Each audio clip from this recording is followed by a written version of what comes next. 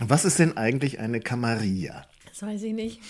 Wie, das weißt du nicht? Ist das so eine Hofklicke oder nicht? Eine Hofklicke? Ja, das sind so Leute um den Herrscher, die Einfluss auf ihn haben. Aber kein offizielles Amt bekleiden oder dergleichen. Oder irgendwie unter Kontrolle stünden.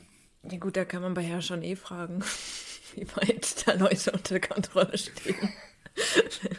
Ja, der Herrscher, der heute, um den es heute gehen wird, der steht sehr wenig unter Kontrolle, glaube ich.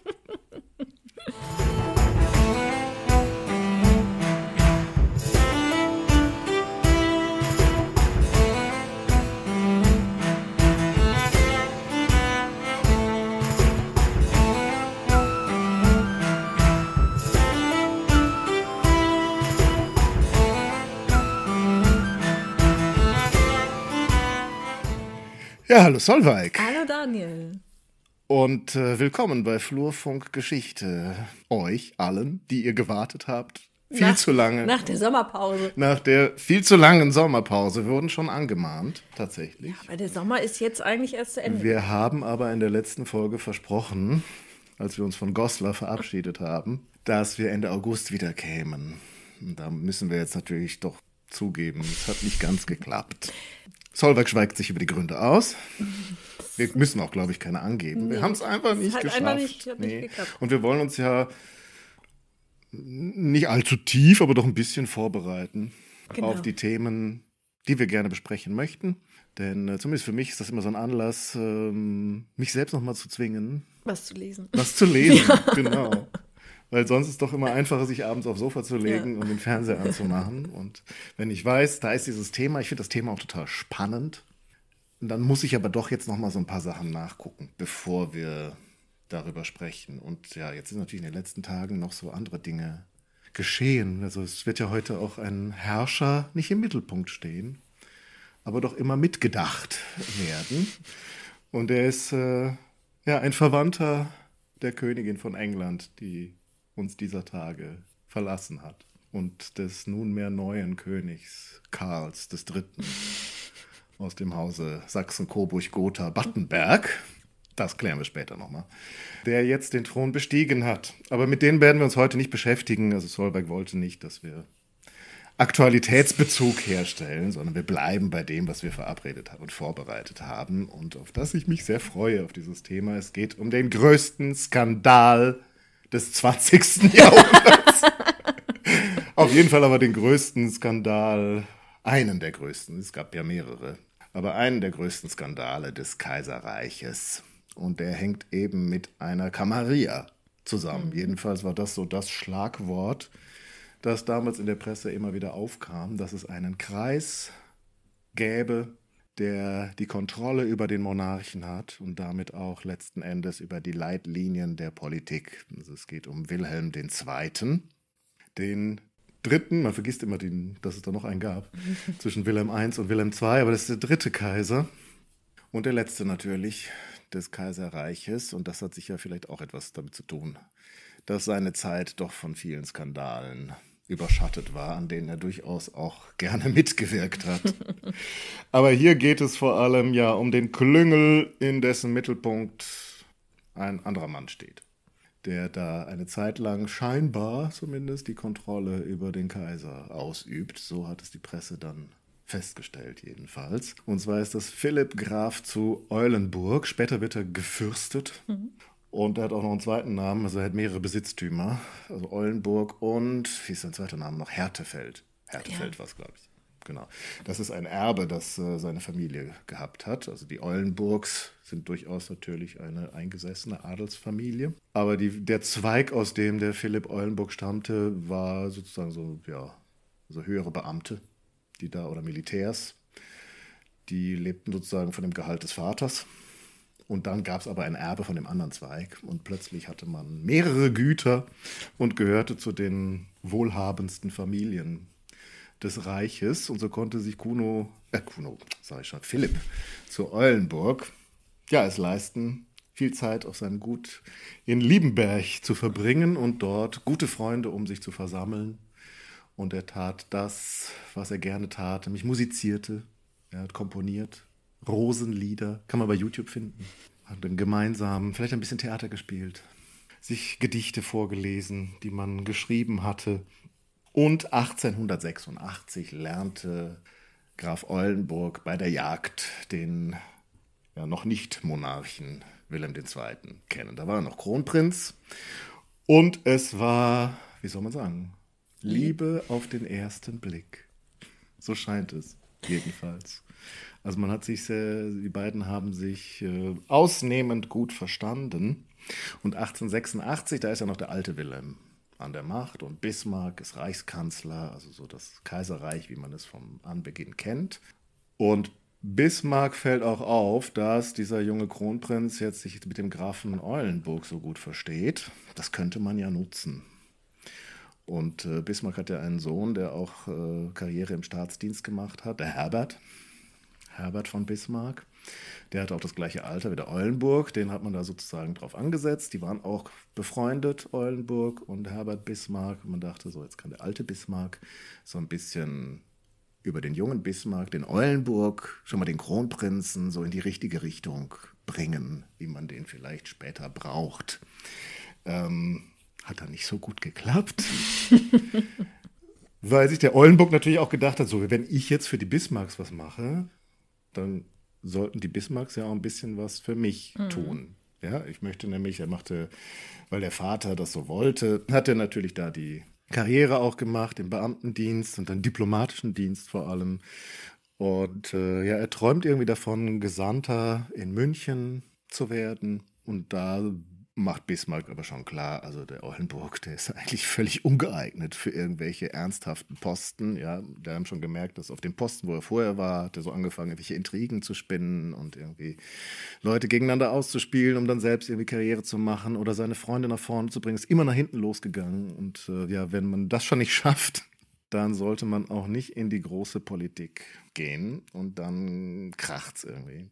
Also Bismarck und Eulenburg haben sich da nicht mehr viel zu sagen. Und so kommt es wohl auch, dass Eulenburg nicht ganz unbeteiligt daran ist, dass der alte Bismarck gehen muss. Gehen muss. Ja, 1890 ist es soweit. Also zwei Jahre hat der Wilhelm, der junge Wilhelm, es noch mit dem alten Reichskanzler ausgehalten. Und der Reichskanzler, der hat natürlich, also Bismarck, der hatte schon, glaube ich, Schiss, dass das jetzt das Ende seiner Zeit sein könnte. Und er hat versucht, irgendwie ja durch so politische Manöver sich so ein bisschen unverzichtbar zu machen. Ja? Also er hat eigentlich so, so Krisen provoziert in der Hoffnung, dass dann der Eindruck bleibt, ja, nur Bismarck ist in der Lage, diese Krise jetzt mhm. auch wieder zu lösen. Hat nicht funktioniert, sondern 1890 muss Bismarck gehen. Es kommt dann zum Bruch. Und Bismarck ist dann wohl auch derjenige, also auf jeden Fall wissen wir, dass ach, schon 1892, also Bismarck, der ist ja dann auf seinem alten Teil mhm. und gibt keine Ruhe. Also ich finde das auch immer faszinierend. Also Bismarck verbindet mit dem immer so, das ist der Kaisertreue. Der hat für Wilhelm I alles gemacht, für das Königreich, für das Königtum seines Kaisers dann später. Und ab 1890 ist er so verbittert in Friedrichsruh und tut alles, um irgendwie den Kaiser zu ruinieren, um den zu schaden. Und 1892 trifft er sich mit einem gewissen Maximilian Harden. Ähm, der war da noch nicht, also der ist ja schon bekannt sicher, aber ähm, sonst wird er den, den äh, Ex-Kanzler nicht treffen. Aber er hatte noch keine Zeitung, sondern die Zeitung Zukunft gründet er dann kurz danach. Und über diese Zeitung wird man dann auch später viel erfahren. Mhm. Über den Grafen Eulenburg und sein Verhältnis zu Wilhelm II. und vielen anderen eben dieses Kreises aus Liebenberg, dem Schloss der Eulenburgs oder von Eulenburg. Und ja, auch der Herbert Bismarck äh, ließ mal verlauten in dieser Zeit, dass er von den Hofbeamten gehört habe, dass also seine Majestät Philipp Eulenburg mehr als irgendeinen lebenden Menschen lieben würde. Und Bismarck meinte dann auch zu Harden, also er könne ihm noch viel erzählen an Geheimwissen, und es wäre auf jeden Fall klar, dass Philipp Eulenburg ein Kynäde sei. Eine. Entschuldigung. Eine. Es ist ein feminines Wort. Welch Zufall. Ein Kynäde sei. Und ja, man könne noch viel erzählen, aber das wolle er dann doch keinem äh, Papier anvertrauen. Und das wäre dann, äh, das würde zu weit gehen, was er da noch wüsste. Aber einiges hat er dann doch wohl verraten. Auf jeden Fall hat Maximilian dann äh, also Maximilian Harden, sich da ein paar Dinge gemerkt, auf die Seite gelegt für später, um dann ja sozusagen eine Kampagne zu starten, weil ihm diese Gruppe, diese Camarilla, die sich da gebildet hatte, um den jungen Kaiser einfach zuwider war. Und man muss auch wirklich sagen, also der Eulenburg, der hatte vor allem ein Ziel erstmal, glaube ich, seine Kumpels in gute Positionen zu bringen. Ja, aber ähm, du sag, hast es jetzt eben schon gesagt, aber das ist ja das Ziel von allen eigentlich. Eigentlich schon, ne? Also, also das ist Karriere, ja das Ziel. Also im Grunde ist Karrierist. Ja. Wobei das bei dem Eulenburg ganz interessant ist, der, will, der macht eigentlich selber keine Karriere. Also der hat dann diese Vision, er möchte mhm. da gerne den Gesandtschaftsposten in München mhm. haben. Den kriegt er natürlich dann auch später und danach geht er dann noch nach Wien. Mhm. Ist ja noch schöner. Ähm, aber vor allem versorgt er seine Kumpels. Ja, also der lässt dann immer sozusagen stecken, ja, Wilhelm das wäre doch der geeignete für den Posten und der könnte dann auch ganz in deinem Sinne regieren. Das ist nämlich das, der entscheidende Punkt. Wilhelm II. will ja selbst regieren. Natürlich. Ja, also der alte Wilhelm, der hat Bismarck immer alles überlassen. Der junge Wilhelm möchte jetzt gerne selber entscheiden. Und ich glaube, das kann man auch so abnehmen. Also der Eulenburg findet das auch richtig. Also Philipp Eulenburg mhm. findet das eigentlich gut, dass der Kaiser jetzt durchgreift und selbst das Zepter in die Hand nimmt und er will ihn dabei unterstützen und er sagt, man schmiedet sozusagen immer mit ihm Pläne, welche Personen sind an welche Posten zu setzen, damit das am Ende funktioniert. Also letzten Endes ist der Plan von denen, so eine Art Staatsstreich mhm. auch durchzuführen.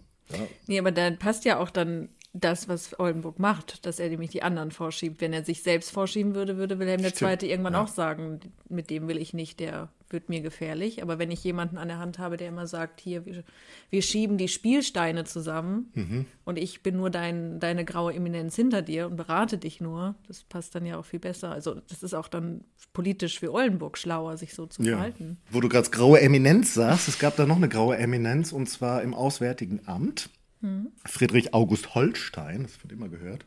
Nee. Außer, dass er einen tollen Namen hat und natürlich entsprechend aus der Gegend kommt und aus auch einer alteingesessenen Familie, keine Frage. Und er war geheimer Rat und dann, ja, so diverse andere Posten, was man so werden kann. Er ist ja nicht bis ganz an die Spitze gekommen, aber der war tatsächlich die graue Eminenz im Auswärtigen Amt. Und der war derjenige, der eben auch mit Eulenburg Kontakt hatte, weil man sozusagen den Bismarck loswerden hm. wollte und dann ein neues System installieren wollte. Und interessanterweise ist es genau dann auch der gleiche, nachdem er dann mit Eulenburg sich irgendwie dann plötzlich nicht mehr vertragen hat, dann bestimmte Dinge wieder an Maximilian Harden hm. weitergeleitet hat. Also merkt euch das schon mal. Es ist jetzt noch so ein bisschen andeutungsvoll hier. Aber das spielt dann alles gleich nochmal eine Rolle, wenn der große Skandal Losbricht. wirklich losgeht. Aber erstmal ist eben wichtig, Philipp Eulenburg eben, das sind so diese ganzen Freunde, die sind alle entweder in Militärs oder im Beamtentum, machen so die klassischen Karrieren, kommen alle aus guten, mehr oder weniger hochadligen ja. Familien. Genau, das wollte ich mich gerade, das ist, glaube ich, auch wichtig hinzuzufügen, dass das alles Adlige sind und mhm. keine Bürger. Das ist auch nochmal, glaube ich, wichtig. Wieso ist das wichtig?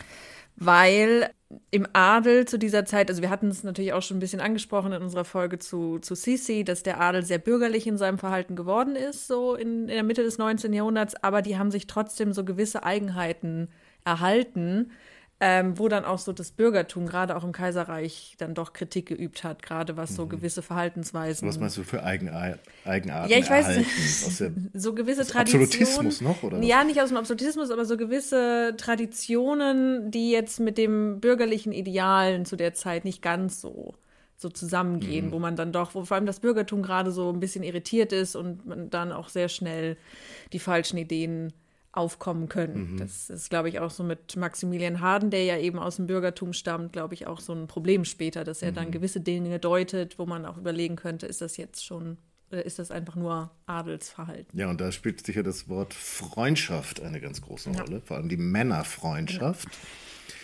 ja. wo man ja eben auch sehr unterschiedlich drauf guckt und wo man, glaube ich, auch so einen mhm. Epochenumbruch ja. tatsächlich dann festmachen kann und was dann die Leute da irritiert. Also gerade jetzt, wenn es darum geht, was, was ist mit dem Kaiser los? Wieso ist ja, so Also wer ist dieser Eulenburg? Was will der vom Kaiser? Was macht der Kaiser mit dem? Was soll das hier mit dem, äh, der liebt ihn mehr als irgendeinen anderen lebenden Menschen? Ähm, ist das jetzt Freundschaft oder was ist das? Ja, und mhm. äh, sozusagen in dem Jahrhundert davor, ich weiß noch, dass eine Freundin von mir noch aus dem Studium, die hat sich sehr viel mit Briefen mhm. beschäftigt aus dem Anfang des 19. Jahrhunderts. Die sind alle wahnsinnig liebevoll. Mhm. Wenn man die heute liest, denkt man, boah, die hatten ja alle, die hatten alle was miteinander. Mhm. Aber nein, die haben einfach so äh, kommuniziert. Das war so ein bestimmter freundschaftlicher Stil, den man gepflegt hat. Ja, und sehr, ja, sehr emotional alles beschrieben und ausgedrückt hat. Und das ist dann aber irgendwie jetzt hier am Umbruch zur Moderne passt das irgendwie nicht mehr. Jedenfalls den Bürgerlichen, die dann die Zukunft lesen von Maximilian Harden. äh, bevor wir jetzt tatsächlich dann zu diesem Artikel kommen, den Harden in der Zukunft veröffentlicht, muss noch ein Name genannt werden, nämlich das ist der große Plan. Also Bismarck ist halt weg, mhm. aber wer soll da jetzt hin? Mhm. Und ähm, wer ist denn der nächste Reichskanzler? Caprivi. Caprivi. Ne? ehrlich gesagt, ich hätte mich letzte Woche gefragt, dann hätte ich das nur sehr zögerlich auch gesagt. Also ich wusste, es, es gab Bismarck und dann weiß ich noch, dass es Bernhard von Bülow mhm. gab, ziemlich lange. Also die, die anderen Namen kenne ich, aber ich kriege die immer nie auf die Reihe. Mhm. Aber jetzt tatsächlich kann ich mir, glaube ich, für immer merken, es kommt Leo Caprivi. Also das Font könnt ihr euch jetzt immer dazu denken. Dann kommt nochmal Fürst Hohenlohe Schillingsfürst. Mhm. Der geilste Name für einen Reichskanzler überhaupt. Das sind auch, also vor allem Herr Hohenlohe ist auch schon ein ziemlich betagter Herr. Das war auch überraschend dann, äh, dass der Caprivi dann wiederum abgelöst hat. Also Caprivi, das war. Der war jünger, ne? Der war, der war jünger, der war, glaube ich, so 60. Okay. Oder Ende 50 oder nee, also irgendwie 60er, mhm. glaube ich, war der und äh, war eigentlich so aus Sicht dieser Camarilla und Wilhelms II. war das auch eher so ein Übergangs- Kandidat. Und es fiel schon auf, dass man den, glaube ich, nicht so unter Kontrolle hatte, wie man das gerne gehabt hätte. Ja, dann wird der geschasst und durch den Hohen Lohe ersetzt, dem, glaube ich, von Anfang an schon klar gewesen sein muss, dass er auch nur so ein Platzhalter ist. Mhm. Denn eigentlich, tatsächlich, als der ersetzt wird, der Caprivi, da gibt es eine Denkschrift, die Eulenburg schreibt, an den Kaiser über den Plan für die nächsten Jahre, wieder mit wer muss auf welche Posten, wer muss weg und wer wird Kanzler. Und da zeigt sich auch nochmal, es gab schon Leute, die natürlich vorgeschlagen haben, ja Mensch, Philipp, mach du das doch, wenn du sowieso hier schon alle Fäden in der Hand hältst. er hat gesagt, nein, ich bin dann tatsächlich lieber die graue Eminenz im Hintergrund. Ich mache gerne Kaiser, aber ich bin es, möchte es nicht sein. Und den er sich eben ausgeguckt hat, ist dann Bülow. Also Bernhard von Bülow, der ist aber noch nicht ganz so weit. Der ist zwar ja auch schon natürlich diplomatische Karriere hinter sich. Der ist, ähm, wo ist er? Ich glaube, Gesandter in Rom zu dem Zeitpunkt. Äh, muss aber Erfahrung erst nochmal sammeln in der Berliner Politik und äh, am besten als Staatssekretär, also als Führer des Auswärtigen Amtes. Und da wird er dann eben auch installiert. Also Hohenlohe wird Kanzler, Bülow wird aus Rom geholt nach Berlin ins Auswärtige Amt, damit er da Erfahrung sammelt. Und aber allen Beteiligten ist eigentlich klar, es geht uns nur darum, dann jetzt noch ein paar Jahre irgendwie abzuwarten, vielleicht so drei Jahre, um dann den Bülow als Kanzler zu installieren. Das dauert dann ein bisschen länger, als sie sich erhofft hatten, aber 1900 ist es dann soweit. Also Bernhard von Bülow wird Reichskanzler und Wilhelm II. ist dann auch ganz euphorisch und sagt, also Bülow ist mein Bismarck. Ja, also das ist so der, von dem er sich verspricht, das ist der, der bleibt jetzt 20 Jahre und der kümmert sich darum und vor allem aber auch der tut, was ich ihm sage. Mhm. Ja, also das war das große Versprechen auch Eulenburgs an den Kaiser, nimm den Bülow, der Bülow ist dir treu ergeben. Ja klar, der Bülow hat aber auch wirklich alles versprochen. Mhm. Der wusste immer ganz genau, also es ist einfach ein Schmeichler gewesen, der wusste ganz genau, wie er die Leute nehmen muss und mhm. hat denen einfach nach dem Munde geredet. Also der hat dann auch sozusagen dann sehr freundschaftliche Briefe an Eulenburg geschrieben, sehr freundschaftliche Briefe an den Kaiser und hat es dann eben auch geschafft, äh, zusammen mit Eulenburg dann auf diesen Posten zu gelangen. Und ja, der soll jetzt Stabilität reinbringen und der Vollstrecker sein, eigentlich der Politik des Kaisers. So hat man sich das Ganze vorgestellt. Und das Interessante ist, jetzt ist das Ziel eigentlich erreicht, dass Eulenburg die, die ganzen Jahre sich darauf hingearbeitet hat, erstmal seine Leute in die Stellung zu bringen, dann sozusagen einen seiner Kumpels den man glaubt, sozusagen jetzt unter Kontrolle zu haben, zum Kanzler zu machen, damit der liebe Wilhelm jetzt endlich schalten und walten kann, so wie er das für richtig hält. Und gleichzeitig aber steigt Eulenburg plötzlich ab. Also sein Stern kommt ins Sinken. Seine Beziehung zu Wilhelm kriselt Erkaltet. heftig. ja, sie erkaltet tatsächlich, ist das vielleicht der beste Ausdruck. Und äh, John Röhl, sozusagen der Hauptbiograf von Wilhelm II., der deutet auch an, dass das etwas mit der Beziehung zwischen Eulenburg und Wilhelm II. zu tun haben könnte, mhm. die dann eben so skandalisiert wird. Und der Skandal geht aber eigentlich los, als Eulenburg schon in Rente ist. Also der ist, der sitzt halt in Liebenberg noch, der hat natürlich auch immer noch Gäste, aber er hat dann bei weitem nicht mehr den Einfluss, den er vorher hatte. Und er hat sich auch als äh, Gesandter aus Wien verabschiedet. Also er hat auch seine diplomatische Karriere beendet. 1902 hm. ist er schon kein Gesandter mehr. Sitzt also den ganzen Tag in Liebenberg rum, keine Ahnung, was er da macht, komponiert weiter Lieder. Harfe spielen. Harfe spielen, genau.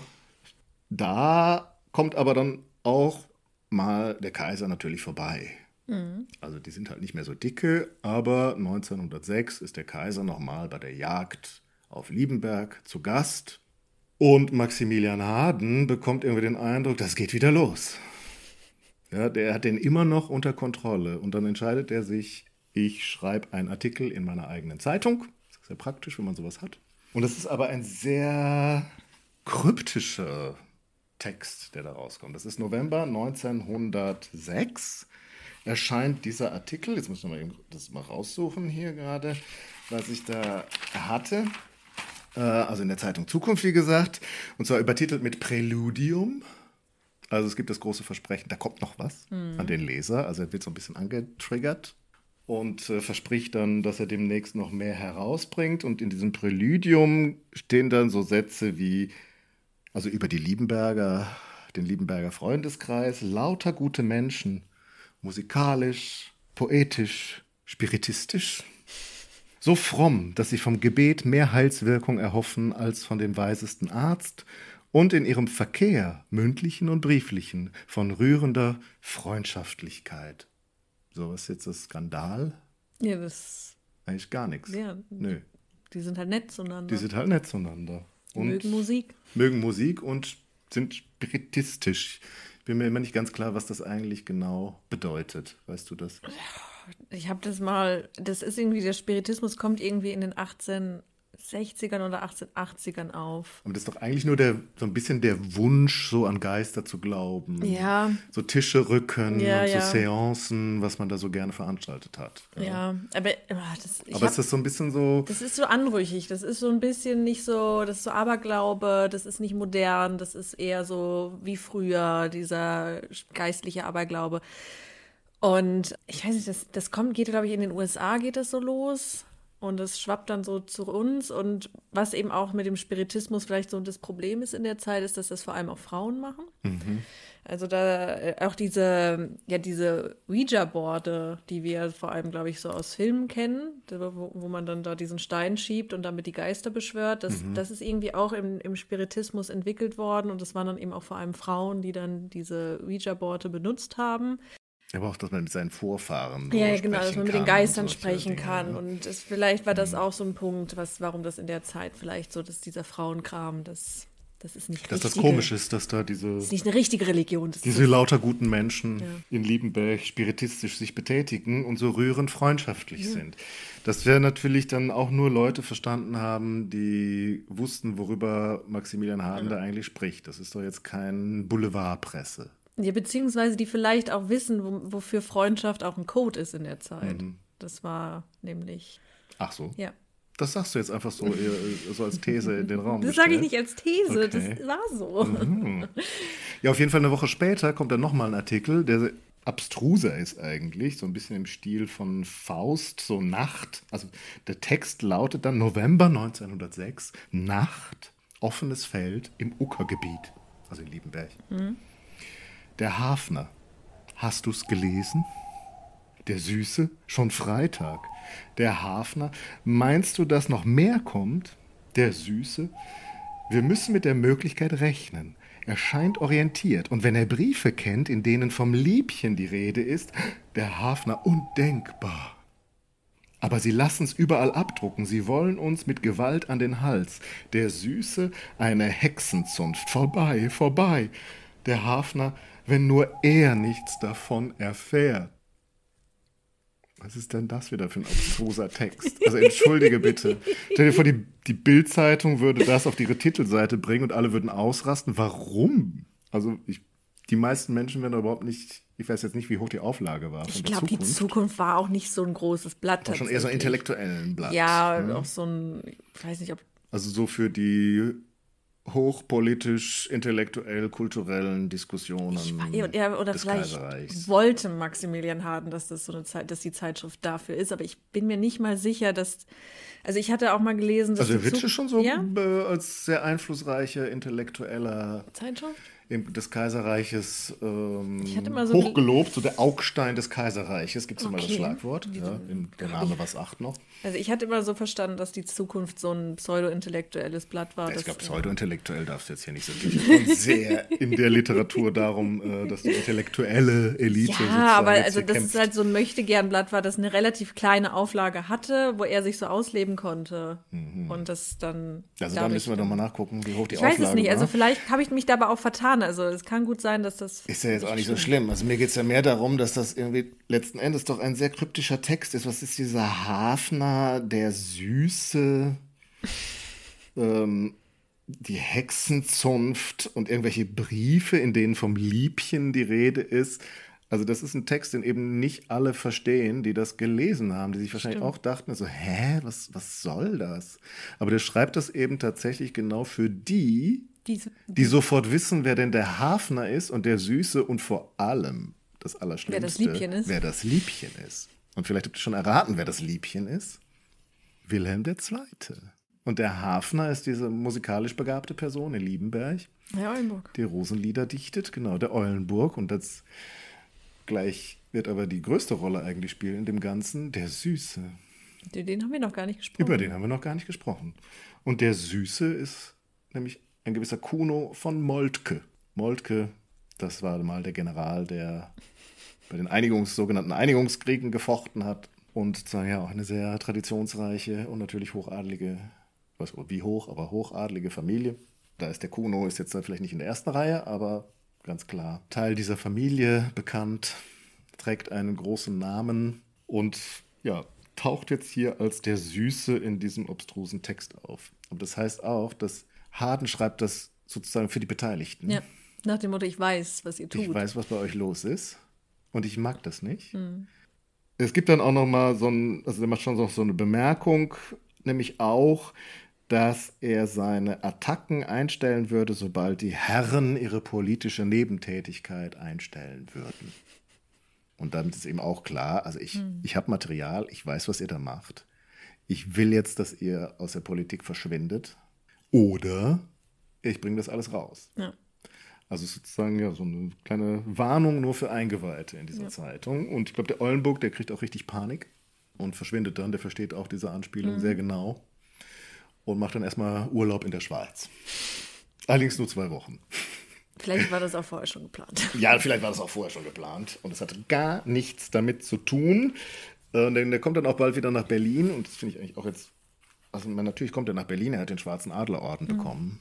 Und im Januar 1907 wird ihm der verliehen und dazu kommt er eben nach Berlin zu der Veranstaltung und Maximilian Harden deutet das dann gleich so, ah, da ist er schon wieder. Er hat es nicht verstanden. Er hat es nicht verstanden. Und dann ja, gibt es natürlich sofort einen neuen Artikel. Und diesmal wird er sehr deutlich, er benennt die Personen. Also er zeigt sozusagen mit dem Finger diesmal auf Philipp von Eulenburg und den Süßen. Das Liebchen wird, glaube ich, so nicht direkt erwähnt. Und dann heißt es da, ja, er sagt dann, blickt auf diese Tafelrunde. Und ich finde ja die Kritik ganz interessant. Ähm, also, die träumten nicht von Weltenbränden, haben's schon warm genug. Äh. ähm, ja. Der Harden. Herr Harden. Ja, aber das ist genau das, was natürlich alle dann sofort wieder verstehen, ja. was jetzt hier los ist. Aber es zeigt auch, worum es dem Harden eigentlich ja. geht. Er findet eigentlich, die Politik ist, also die Politik Wilhelms II. und der aktuellen Regierung unter Bülow ist unter dem Einfluss dieser Liebenberger warmen Runde verweichlicht. Ja. Das, Ja. das war ja auch, dieses Treffen hatte ich dann auch ähm, gelesen, also das, was du vorhin angesprochen hast, dass Eulenburg quasi wieder zurückkommt und Einfluss auf Wilhelm ausübt, dass das ja auch ein Gesandtentreffen war, also dass irgendwie der irgendein französischer Ge Gesandter in Liebenberg Ja, das ist in der, das ist, stimmt, das ist bisschen eine wichtige Sache. Es geht gerade um die Marokko-Krise, Ja. um diesen Jahreswechsel da, oder 1906, wo ja, Frankreich natürlich seinen Einfluss ausüben möchte in Nordafrika und es kolonisiert. Und Deutschland aber eben auch versucht, dort seinen Freihandel zu behaupten. Und dann gibt es eben diese sogenannte Marokko-Krise, da gibt es mehrere von, aber eben eine ist 1906 und Deutschland äh, ja, veranstaltet dann da eine Konferenz, wo man eigentlich hofft, dass England seine Unterstützung von Frankreich, also es ist ja noch die relativ frische Entente zwischen oder, äh, ja, England und Frankreich und man möchte die eigentlich aufbrechen, dass Frankreich am Ende alleine dasteht, aber das passiert natürlich genau umgekehrt. Am Ende ist da irgendwie, die kriegen dann zwar ihre Handelsstützpunkte oder dürfen da weiter Handel treiben, aber eigentlich ist klar, Deutschland ist eigentlich das Land, was isoliert ist mittlerweile. Nichtsdestotrotz, äh, eben für Bete oder so Beratungen oder warum, was auch immer, bekommt er damit den Schwarzen Adlerorden. Also das sind dann eben so ein Höhepunkt der Diplomatie da, auch wenn es dann am Ende gar nicht so doll war. Nichtsdestotrotz, die feiern sich halt selbst dann im Januar 1907, wahrscheinlich im Weißen Saal des Berliner Schlosses, keine Ahnung, wo sie das abgehalten haben. Und dann kriegt er eben den Schwarzen Adlerorden und nochmal eine Belobigung vom Wilhelm, wie toll er sei. Und dann platzt dem Maximilian der Kragen. Ja, ich hatte das auch verstanden, dass es auch eben darum ging, dass Wilhelm, also beziehungsweise dass Eulenburg diese, dieses Treffen mit dem französischen Gesandten und dem Kaiser so in Liebenberg arrangiert, dass die sich Ah, da ja. treffen und dann jetzt mal über eine Versöhnungspolitik Das weiß ich gar nicht, ob es sich wahrscheinlich, das kann sein. Auf jeden Fall, es gibt diesen Gesandten, dessen Namen ich vergessen Mhm. Ja, habe, aber das ist auch. natürlich, kommt noch mit dazu, warum hier Herr Harden das so scheiße findet, dass die keine Weltenbrände Ja, verursachen genau. wollen, weil die tatsächlich so einen Ausgleich mit Frankreich suchen. Ja, also das gibt, es gibt auch den Verdacht, dass Wilhelm II. unter Eulenburgs Einfluss bereit sein könnte, Elsass-Lothringen zurückzugeben. Also diese Trophäe des großen Sieges 1871 über Frankreich. Und das ist natürlich ungeheuerlich für alle, die national empfinden damals. Und sich auch noch mit dem Erzfeind trifft, um Ja. vielleicht Fri- Frieden zu schließen und. Freundschaft zu Ja. schließen. Verrat Pfui. auf ganzer Ekelhaft. Linie. Wir wollen den Weltenbrand. Wir wollen das Stahlgewitter. Und er versöhnt sich mit denen. Das geht ja gar nicht. Pfui, pfui. Ja. Und dann gibt es auch noch einen Beleg. Äh, zwei Wochen später verweist dann Harden nochmal auf die Familiengeschichte der Hohenzollern, beziehungsweise Ja. auf die Verwandtschaft, Großneffe, glaube ich, war es, von Wilhelm I., also wie auch immer, Großcousin, Cousin dritten Grades, das könnt ihr selber ausrechnen, von Wilhelm II., nämlich Prinz Friedrich Heinrich von Preußen. Und da heißt es in dem Text, dass eben dieser Prinz musste, weil er an ererbter Perversion des Geschlechtstriebes leidet, auf die Herrenmeisterschaft im Johanniterorden verzichten. Gilt für das Kapitel des Schwarzen Adlers mildere Satzung? fragt Maximilian Harden. Da sitzt mindestens einer, dessen Vita Sexualis nicht gesünder ist als die des verbannten Prinzen. Und das ist ja dann schon sehr deutlich. Klar. Ja, allerdings. Und auch echt heftig. Ja, der Kaiser kriegt davon erstmal gar nichts mit, was da los ist. Ich glaube, der liest die Zukunft nicht. der liest, glaube ich, sowieso wenig Zeitung. Er lässt sich ja da wenn überhaupt vortragen. Und natürlich von den Offiziellen traut sich keiner ihm zu sagen, was hier gerade abgeht, dass irgendwer von Liebchen schreibt und dass seine Freunde an Perversion des Geschlechtstriebes leiden. Es ist aber auch interessant, dass er hier schreibt, ererbte Perversion des Geschlechtstriebes. Also könnte man ja auch gleich denken, Ganz der raus. Kaiser, den betrifft das womöglich auch, wenn das in der Familie liegt. Also Wilhelm soll das dann von seinem Sohn Wilhelm erfahren haben. Mhm. Also der hat es ihm dann irgendwie erzählt, so Papa. Genau, im da- Mai da geht's 1907. Um. ja. Und da gibt es so eine sehr schöne Karikatur, die können wir auch gerne noch, also verlinken wir im Informationstext, ähm, wo dann auch so drunter steht, also Wilhelm Junior sitzt dort, der Kronprinz, und sagt dann so, bitte stören Sie mich nicht. Wer soll denn, so von wem soll Papa denn die Neuigkeiten erfahren, wenn ich nicht Zeitung lese? also da haben sie sich dann auch gleich drauf gestürzt, so der Kaiser bekommt gar nichts mit. weil- Wobei es gibt, ich habe da auch eine Karikatur gesehen, wo Willem tatsächlich, also es war Ah. eindeutig Willem mit dem zackigen Mhm. Schnauzer im Thron sozusagen mit übereinander geschlagenen Beinen in der Zukunft liest. ja, ich weiß jetzt den Text dazu nicht mehr, aber ja, tatsächlich selber, vielleicht nachher hat er dann selber vielleicht mal nachgelesen. Vielleicht hat er dann gedacht, vielleicht soll ich aber mal reingucken. Beim ersten Mal musste ihm der Kronprinz Ja. erstmal zeigen, was da eigentlich gerade los ist. Und dann, wie Wilhelm II.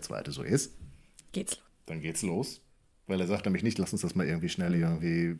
Wie viel Geld braucht der Harden? Wo soll der Ollenburg hin, damit der Ruhe gibt? Nein, das kann ja alles gar nicht wahr sein. Und da gibt es eine Anweisung von Wilhelm an die Freunde: gereinigt oder gesteinigt. Super. Freundschaft, wie romantisch. Was natürlich die Aufforderung ist, vor allem sich jetzt in der Justiz dagegen zu wehren. Ja. Gegen das, was Harden tut. Ja. Und der, der dran glauben muss, ist der Süße. Ja. Also Gono von Moltke. Oder wie es dann in anderen Karikaturen heißt, Kunogunde. also Philly ist sozusagen immer die Kurzform für Philipp von Eulenburg. Also in den Briefen, die Freunde nennen sich natürlich dann eben nicht nur Süßer und Hafner oder Liebchen, sondern auch Philly und die Kunogunde.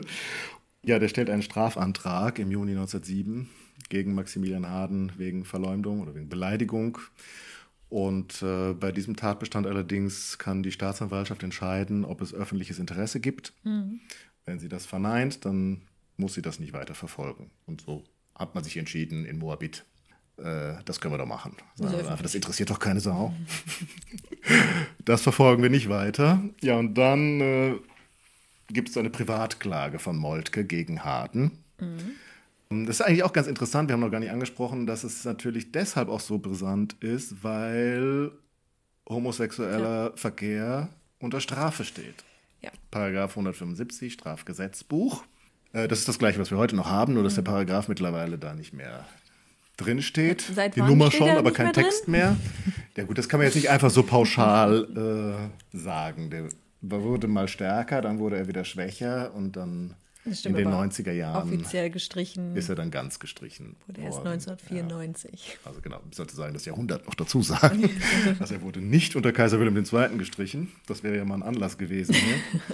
Sondern dann erst ein Jahrhundert später.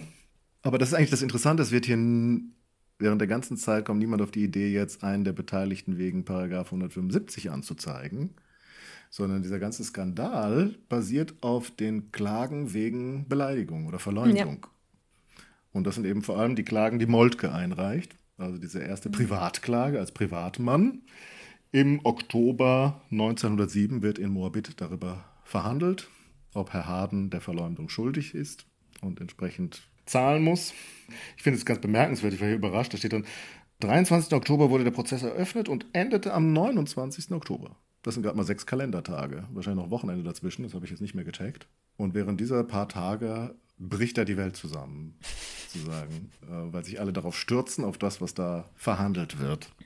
Ja, es gibt prominente Beteiligung, denn man sucht einen Fachmann, Ja. einen gewissen Dr. Magnus Hirschfeld, Genau. von dem du mehr weißt als ich. Genau, beziehungsweise, weil das Problem ist ja, was man jetzt hat äh, mit diesem Prozess, im Grunde muss Maximilian Harden oder die Anklage, ähm, beziehungsweise die Verteidigung, ich weiß gar nicht, Er wer, muss eigentlich er wär, zeigen, dass er recht hat, Genau, ne? er muss zeigen, ich bin, ich bin jetzt auch gerade verwirrt, wer jetzt was beweisen muss, aber Kuno von Molke klagt ja Maximilian Harden wegen Verleumdung an, weil er ihm unter, also ver- vermeintlich fälschlich unterstellt, homosexuell zu sein. Und deswegen muss Harden jetzt beweisen, dass, Dass er recht hat. dass er, dass Moltke eben homosexuell ist. Da werden dann eben verschiedene Aussagen getätigt. Äh, Es kommen, werden bestimmte, Bezü also bestimmte Zeugen eingeladen. Eine Zeugin ist da auch maßgeblich. ähm, und es gibt eben dann auch einen Gerichtsgutachter und das ist eben Dr. Magnus Hirschfeld. Das ist eben eine sehr, sehr wichtige Person auch in dieser Zeit, weil Magnus Hirschfeld sich gerade eben zur, jetzt zur Sexualwissenschaft bestätigt. Also das ist so sein. Das ist überhaupt das erste Punkt. Mal, Das dass sich eben- jemand genau. wissenschaftlich mit Sexualität auseinandersetzt. Genau, also er ist der Erste. Er hat dann auch eben sein, das Institut ist noch nicht gegründet, werden wir aber auch dann nochmal später drauf kommen. Aber er ist eben schon mit diesem Thema bewandert und hat dann eben auch genau das, äh, ein Komitee zu dem Zweck gegründet, ähm, sich mit der mit überhaupt Sexualität wissenschaftlich auseinanderzusetzen.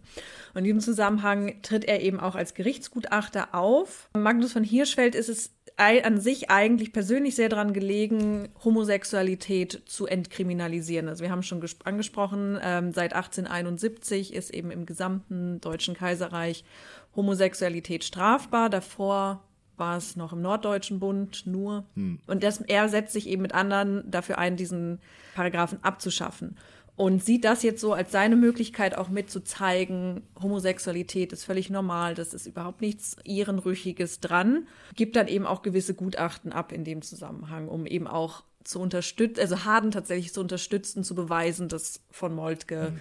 Ähm, homosexuell ist, wo man dann eben auch dann drüber diskutieren kann, wie weit das sich hier dann nicht auch um Zwangsoutings handelt, um seine mhm. eigene Politik voranzutreiben. Ja gut, aber er ist jetzt nicht Hirschfeld, hat er jetzt nicht den, den das Moltke da. Das stimmt, aber er, er unterstützt halt ja. schon gewisse. Also in seinem, äh, also er, er, sagt in diesem Gutachten auch das, was du mhm. jetzt gerade meintest, Homosexualität sei also ebenso im Plane der Natur und Schöpfung wie die normale Liebe. Und äh, jetzt konkret zu dem Moltke mhm kommt er dann zu dem Schluss, ich habe aus der Beweisaufnahme die wissenschaftliche Überzeugung gewonnen, dass bei dem Kläger Herrn Grafen Kuno von Moltke objektiv ein von der Norm, das heißt von den Gefühlen der Mehrheit abweichender Zustand vorliegt. Und zwar eine unverschuldete, angeborene und meines Erachtens in diesem Fall ihm selbst nicht bewusste Veranlagung, die man als homosexuell zu bezeichnen pflegt.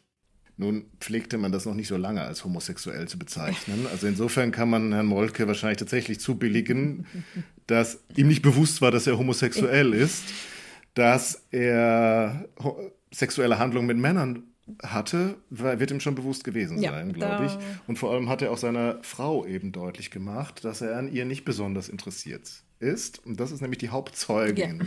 in diesem Verfahren die Lilly von Moltke, die hatte vorher noch einen anderen Namen, die war nämlich schon mal verheiratet, ist Witwe. Und äh, Kuno ist dann, glaube ich, ihr zweiter Mann. Sie hat sich dann von ihm scheiden lassen, hat dann nochmal geheiratet, also findet man unter verschiedenen Namen. Also zu dem Zeitpunkt in Moabit ist sie Lilly von Moltke. Und das ist eigentlich auch ziemlich krass, weil der äh, Kuno von Moltke, der wurde äh, dank Eulenburgs Einfluss dann äh, erstmal war es erst Flügeladjutant oder erst äh, Militärattaché? Ich bin mir gerade nicht sicher auf jeden Fall zu dem Zeitpunkt des Prozesses ist er Stadtkommandant von Berlin. Also nicht ganz unwichtige mhm. militärische Position. Früher war er eben schon Flügeladjutant bei Kaiser Wilhelm, also mhm. direkt an seiner Seite, so eine Vertrauensperson. Und dann hatte er zwischendurch noch einen Posten als Militärattaché an der Botschaft des Reiches in Wien wo wer nochmal Botschafter war? Eulenburg. Ja, der Philipp Eulenburg. Und das kurz nachdem er die Lilly geheiratet hatte. Also der heiratet die Lilly und sagt dann, oh, ich habe da einen neuen Posten in Wien bekommen. Mach's gut. Jedenfalls haben die beiden sich das wohl so gedacht. Dann kommt der Kuno zu mir nach Wien. Die Frau kann ja glücklich jetzt ihren, sagen, den neuen Stand, den sie errungen hat, äh, genießen, in Berlin gesellschaftlichen Leben teilnehmen. Aber nein, die Lilly die will. Die will, ja. Der hat womöglich noch aus Liebe geheiratet. Die will mit Kuno zusammen Sie fand den wahrscheinlich cool, den Kuno, weil der so, so, Musik so freundlich ist, kulturell interessiert und so weiter. Genau, dann kommt die einfach mit nach Wien. Scheiße. und ja, da ähm, war Kuno offenbar nicht bereit, die Ehe öfter als zweimal zu vollziehen. Nicht, ja, sie, doch, sie sagt in dem Prozess, glaube ich, aus, dass so die ersten zwei Wochen okay hat sie nochmal überreden können.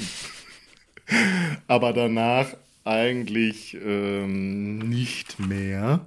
Ja, er, er, provoziert sie dann auch damit. Es gibt so eine Szene, die wird von Lillys Sohn aus erster Ehe beschrieben. Mhm. Der war zwölf Jahre alt und hatte das dann miterlebt, wie also Moltke ein vergessenes, Ta also ein, Philipp Eulenburg hatte ein Taschentuch bei seinem Besuch liegen lassen. Und äh, Kuno nahm jetzt das Taschentuch, presste es an sein Herz, an seine Brust und sagte, meine Seele, meine Liebe, während seine Frau daneben stand.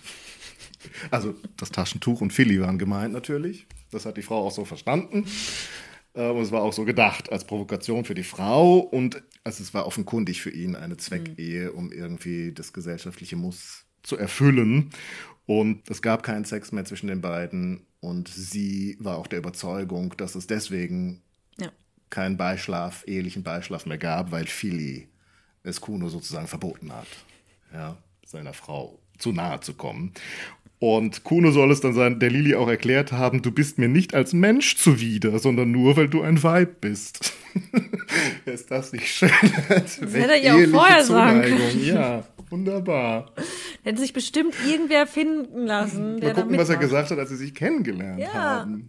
Ja, also.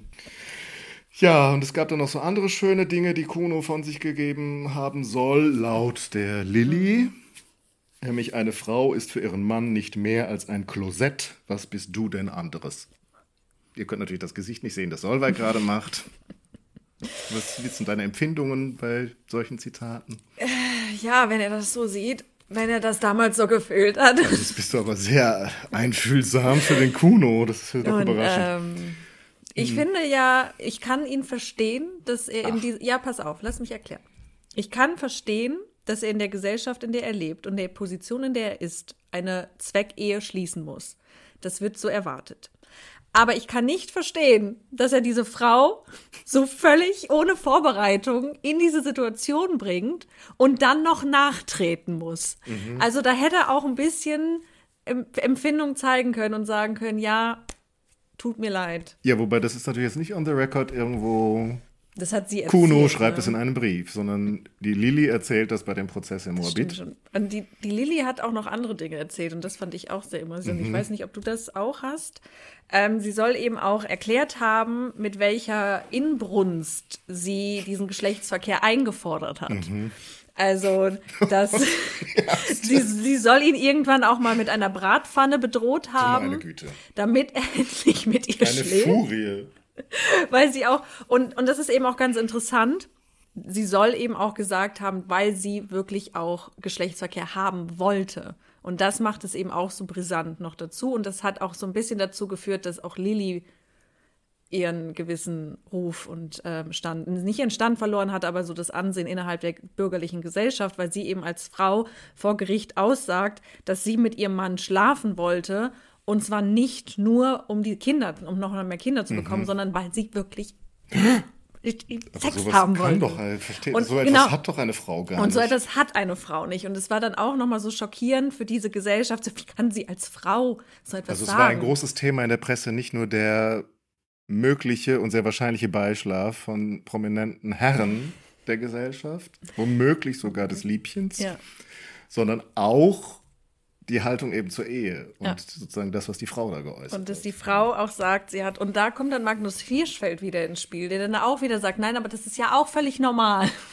Also Homosexualität ist völlig normal und dass Frauen sexuelle Bedürfnisse haben, ist auch völlig normal. ja, aber da hat, was für eine krude, da hat keiner auf ihn gehört. Und, Meinung, ja. Und es ist eben auch dann noch so diese Geschichte, also dass eben Lilly da nicht nur steht äh, als eben entehrte Ehefrau, sondern dass sie dann, und dadurch machte sie sich dann ein bisschen auch ähm, ja, angreifbar, dass sie eben von ihm wirklich verlangt hat, mit ihr zu schlafen. Mhm. Und eben angeblich auch mit der Bratpfanne dann kam und gesagt hat, jetzt!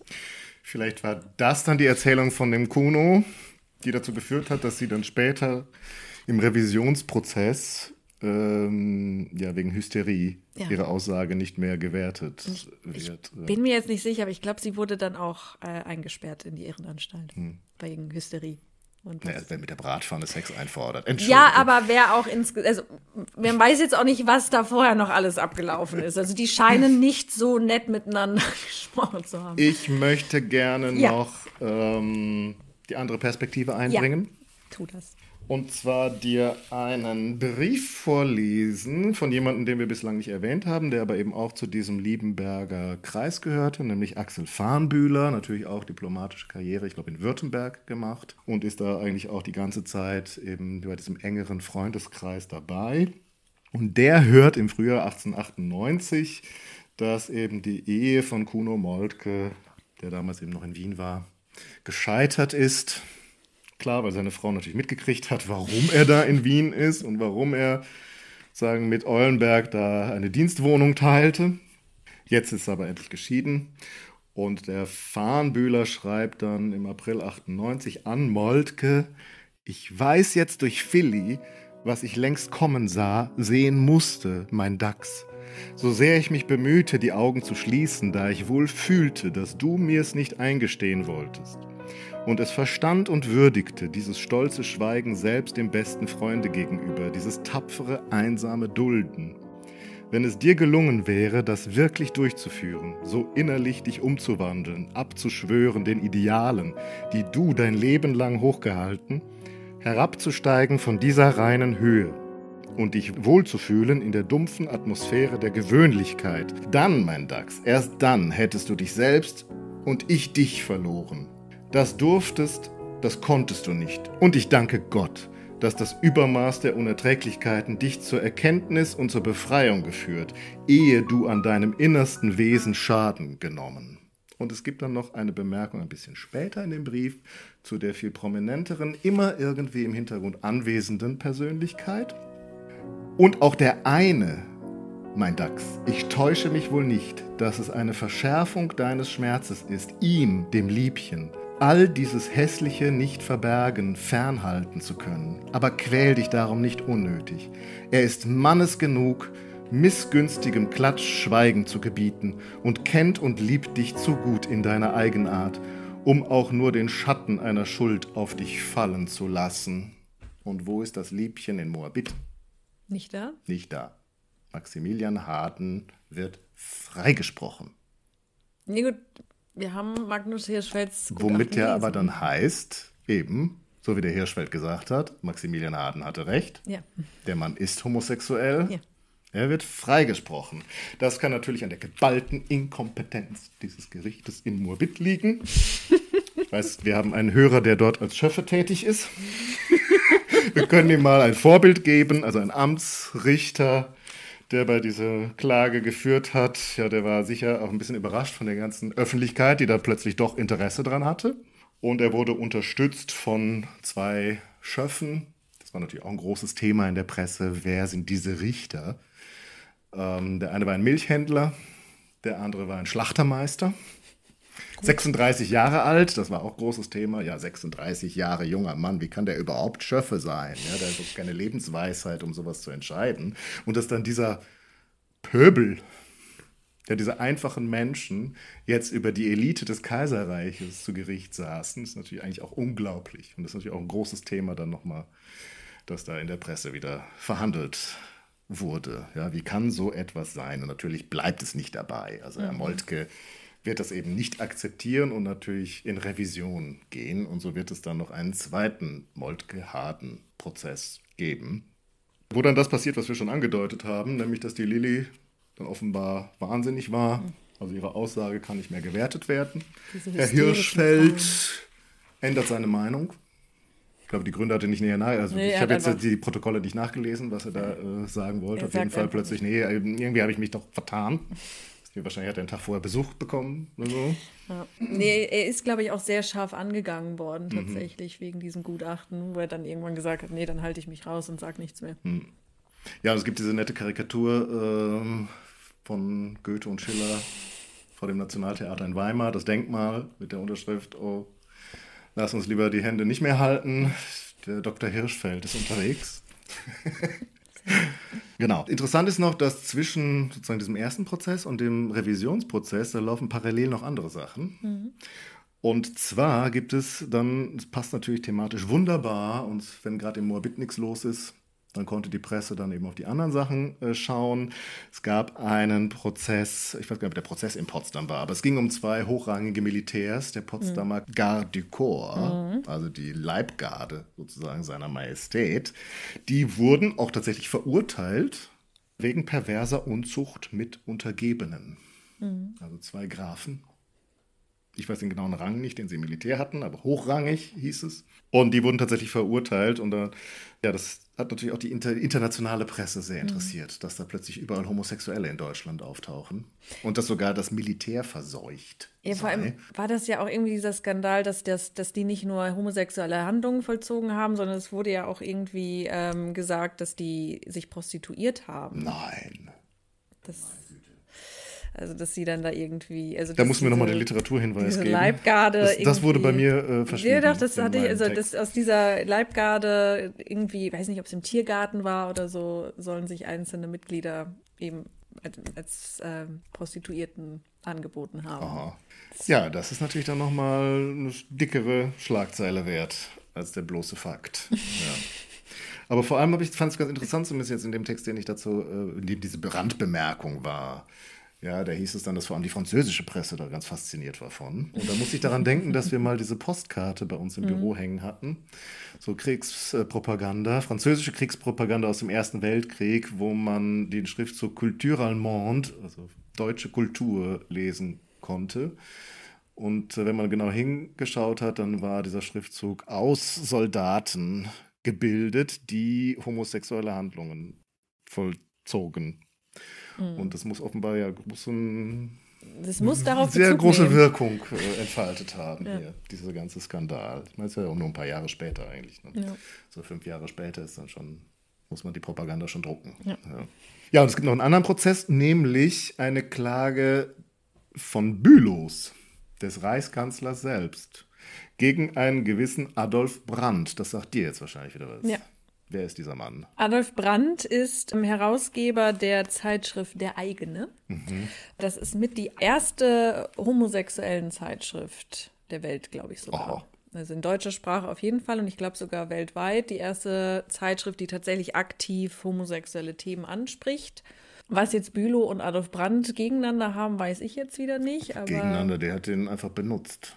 So wie du gerade schon äh, bei Herrn Hirschfeld hergezogen hast, dass der einfach sich dachte, oh, ich nehme mal den Prozess, um den Leuten mal nahe zu bringen, da ist so viel Presse da. Mhm. Sage ich denen jetzt mal, worum es mir geht. Und so mhm. dachte sich Adolf Brandt auch, wunderbar, auf den Zug springe ich mal mit auf. Und hat dann eben auch gleich mal in Flugblättern in dem Reichskanzler Homosexualität äh, unterstellt. Mhm. Und entsprechend musste dann natürlich auch da die Verleumdungsklage dann erfolgen. Und der wird auch verurteilt, 18 Monate in Knast für, dafür, dass er hier den Kanzler verleumdet. Interessant ist nur, dass, das heißt hier immer, ungefragt kommt Herr Eulenburg vorbei im Prozess und legt einfach mal einen Eid ab. Ach, ich hatte übrigens keinen Sex mit von Bülow. Was soll das denn? Danke für diese Info. Das, das war eine Verhandlung von einem Tag. Ich stelle mir irgendwie vor, da fährt der Eulenburg mit der Kutsche mal schnell in Moabit vorbei und denkt sich, ach, der Bülow ist ja heute hier. Wer weiß, was die sich gerade wieder das Maul zerreißen. Ich gehe mal rein und sage, ich bin nicht gewesen. und das wird nachher ganz wichtig, mhm. ja, weil er nämlich da unter Eid eben aussagt, dass er nicht nur mit Herrn Bülow nichts hatte, und er wird dann auch, glaube ich, im zweiten Moltke-Prozess nochmal so ein Eid ablegen, dass er überhaupt nie irgendwelche Schweinereien begangen hätte. Ja. ja oder sich, sagen wir mal, nach Paragraph 175 Strafgesetzbuch strafbar gemacht hätte. Und da wird Harden nämlich jetzt ansetzen. Also der zweite Prozess für Harden geht diesmal anders aus. Mhm. Er wird nicht wieder freigesprochen, sondern er kriegt aber mehr so eine provisorische Strafe. Ich glaube, vier Monate. Mhm. Vier Monate ist das Urteil, aber es ist schon interessant. Ne? Also zwei Dinge nämlich, dass beim ersten Mal äh, natürlich das Urteil nicht so ausgegangen ist, wie der Kaiser und alle Beteiligten das erwartet hatten. Und das durfte einfach nicht nochmal passieren. Ja. Dann kommt plötzlich diese ganze öffentliche Aufmerksamkeit, dass sich nicht nur in Deutschland die ganze Presse das Maul zerreißt und natürlich alle Leser und Leserinnen, sondern mittlerweile fast weltweit, also auch USA, verfolgt man durchaus mit Interesse, was da in Berlin los ist. Und das darf einfach nicht nochmal passieren. Ne? Ja. Dass am Ende dann auch noch der Verleumder Recht, Recht bekommt. Ja. Und dann sorgen die eben dafür, dass nicht nur der Hirschfeld seine Meinung ändert, dass die Lilly äh, in der Psychiatrie landet und am Ende wenigstens vier Monate Urteil für Harden. Die zwei wichtigsten Zeugen werden einfach ja. ausgeschaltet. Und der Harden denkt sich dann auch so nicht. Also, dass die Justiz in Berlin wahrscheinlich einfach, die weiß natürlich ganz genau, dass das Liebchen im Hintergrund, mhm. dem darf nichts passieren. Und dann denkt er sich, dann gehe ich doch woanders hin wo das Liebchen nicht so direkt mir im Nacken sitzt und da dazwischen spielt und die Reichsregierung, ich gehe nach Bayern. Man kann sich natürlich fragen, wie, hä, wieso?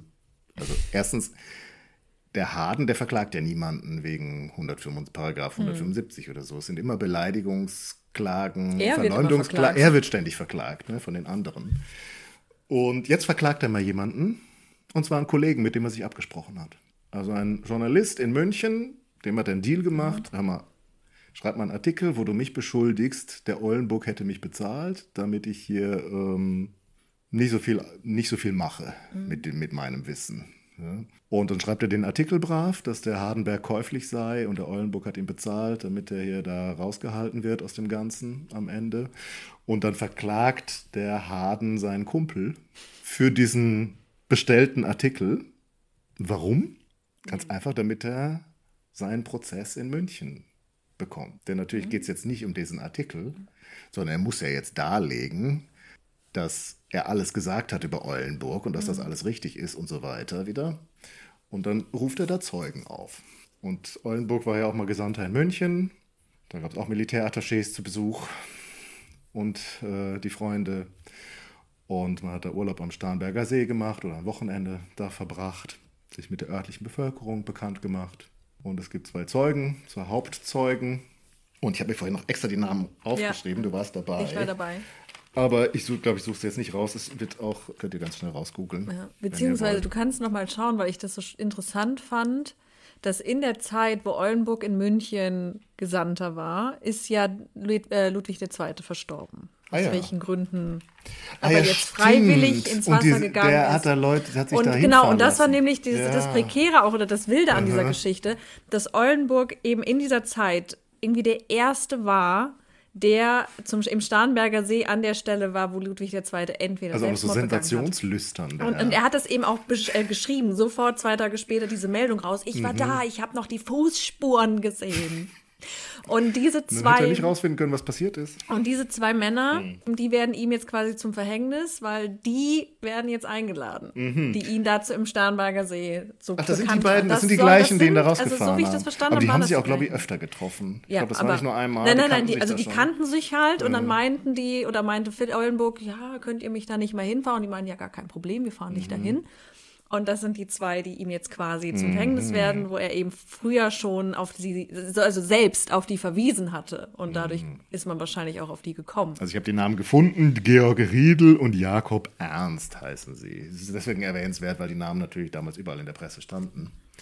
Und das sind eben die beiden Fischer vom Starnberger See, die Eulenburg eben nicht nur mit dem Boot rausgefahren haben, damit er, sagen wir es mal, so Ludwig II. die Ehre erweist, sondern dass man sich, und so sagen sie es dann auch aus, ich weiß deren Wortlaut leider nicht genau, aber dass man sich da im Grunde gegenseitig befriedigt hat. Unzucht getrieben hat. Und- Im Sinne des entsprechenden Paragraphen. Genau, und ich habe das auch so gehört. Ich habe also ich habe die Protokolle jetzt auch nicht selber gelesen, deswegen, aber ähm, es ist so an mich herangetragen worden, dass diese Fischer eben offensichtlich diese Begriffe gar nicht kannten und man sie dann gefragt hat, ja, und habt ihr dann Unzucht getrieben? Und die so, was, Hä, was was haben wir das? gemacht? Und dann müssen die angeblich wirklich so noch aufzählen, beschreiben. beschreiben. Und habt ihr das gemacht? Habt ihr das gemacht? Habt ihr das gemacht? Und so, ja, das haben wir alles gemacht. Dann haben wir scheinbar Unzucht getrieben. Und das finde ich eben auch so interessant. In dieser Zeit merkt man, wie die einfach auch diese, diese Wörter noch nicht kennen und sich denken, naja, wir sind da halt einfach rausgefahren und dann haben wir miteinander. Ja, gut, die haben natürlich jetzt auch keinen höheren Bildungsgrad. Also die haben jetzt keine Rechtsseminare besucht an der Uni. ja, aber trotzdem, also ich Wissen nicht, was diese Paragraphen, dass die existieren und was Nee, sie bedeuten. Es, es geht mir ja uns auch gar nicht so um die Paragraphen, aber eben auch nur so im Hinblick für uns heute, wir haben diese Wörter. Das ist, man kann darüber sprechen und in der Zeit merkt man einfach auch, wie die das, sie tun es halt einfach, aber sie haben es noch nicht so definiert und das finde ich eben auch so, so spannend, wenn man es eben so im, in den Vergleich setzt. Mhm. Und eben auch sehr amüsant, dass sie dann in den Protokollen halt, habt ihr das gemacht? Habt ihr das gemacht?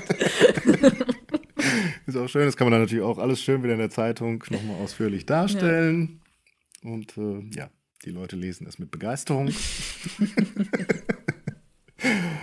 Ah, ich weiß gar nicht, was mit denen passiert ist. Aber die waren wahrscheinlich, die wussten halt nicht, was sie tun, deswegen werden sie dann nicht verurteilt. Oder die haben vielleicht dann- 175 oder so. Sie sind ja dann nur als Zeugen. Ich glaube, die, ich weiß gar nicht, ob die dann eine Strafe, ich glaube, die mussten wahrscheinlich eine kleine Strafe zahlen. Wahrscheinlich so. mussten sie dann trotzdem, wurden sie dann auch. aber- Aber das Entscheidende ist natürlich, es geht ja um was ganz anderes. Also der Harden will ja jetzt dem möchte- Eulenburg zeigen. Genau, er möchte nämlich sagen, der Eulenburg hat einen Meineid abgelegt. Ja, allerdings. Ist aber auch schon wieder witzig, weil ja, wieder kein Paragraph 175, sondern jetzt gibt es eine Klage gegen den Eulenburg. Nicht wegen Unzucht, sondern wegen Meineides. Ja, das ist jetzt sozusagen der Angriffspunkt dann in Berlin. Kurz danach, sofort nach dieser Zeugenaussage, wird dann Klage erhoben wegen Meineides gegen Eulenburg. Und der ist aber krank. Ja. Der ist scheinbar sehr gebrechlich. Es ist nicht so ganz klar, inwieweit er wirklich krank war oder das einfach jetzt eine krank feiern war, um dem Ganzen zu entgehen. Auf jeden Fall, wenn er es äh, gespielt hat, dann war er so gut, dass man den Prozess dann zeitweilig in die Berliner Charité verlegt hat und dort verhandelt hat. Und dann äh, nach ein paar Stunden ist er zusammengebrochen, konnte nicht mehr. Und tatsächlich schafft er das, äh, dass dieser Prozess nie abgeschlossen wird. Also es gibt kein Urteil in diesem Meineidsprozess. Es hört dann einfach auf. Er hat Was? sich ja auch ja. mit der Sänfte dann ja, nach stimmt. Moabit ja, da gibt auch so Fotos von, ne? Fotos, ja. Oder dann, wie er da, dann da mhm. ich kann nicht hingehen, muss getragen werden. ja, wir, wir sollten nicht lachen, vielleicht war er wirklich krank. Ja, Das ist bestimmt. nur halt so ein bisschen komisch, ja, dass er so pünktlich krank geworden ist. Aber ich glaube, es gab so eine Beschreibung, dass er früher auch schon mal kränklich war. Ja, und es kann auch sein, durch den Stress, dass das zerrt auch an einem. Fertig war. Also, dass der einfach dann Nerven zusammen Ich wollte doch nur. Ich wollte doch nur mit meinen bayerischen Fischern schwimmen gehen. Und mit dem Liebchen. Und der Liebchen, mit dem haben sie sich ja gestritten. Die hatten doch schon gar nichts mehr. Es ist eigentlich alles total umsonst, was sie ja. da betreiben. Außer, dass der Bülow halt natürlich immer noch in Amt und Würden ist. Und das wird er aber auch noch bleiben. Allerdings auch nicht mehr allzu lange, muss man dazu sagen. Also es gibt diesen nicht abgeschlossenen Meineidsprozess.